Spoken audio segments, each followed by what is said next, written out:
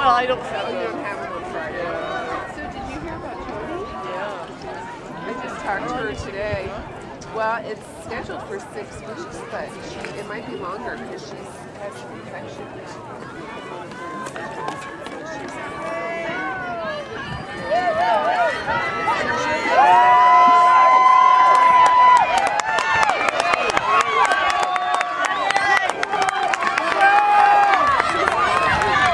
down the stretch, got Heritage in first.